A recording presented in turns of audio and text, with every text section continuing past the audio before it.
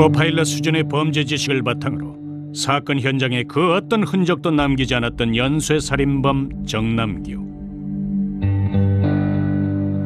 정남규를 경찰이 검문 검색을 했다 하더라도 몸에 어떠한 어, 뭐 사건과 관련된 도구는 일체 없었어요.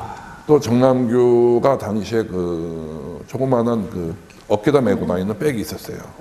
그 백 안에 마스크, 뭐 또 장갑 저기 중간에 보이시죠? 이런 것이 이제 있었어요. 단순 강도범으로 붙잡힌 한 남자.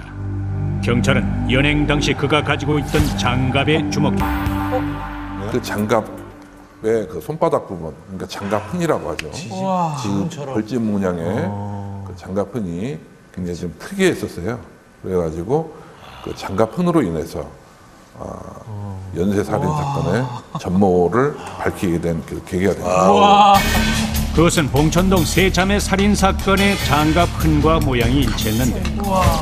그렇다면 우리가 흔히 사용하는 장갑들의 흔적은 그 모양이 어떻게 다를까? 제작진은 다섯 개의 장갑에서 지문을 찍듯 그 흔적을 채취해 봤는데. 이중 두 개의 장갑은 얼핏 그 흔적이 비슷해 보였지만 확대 결과 그 모양이 달랐고 정밀 검사에서는 더욱 확연히 차이가 났다. 어떻게 보면 장갑 흔이지만 형사들한테는 그 지문과도 똑같은 거였죠.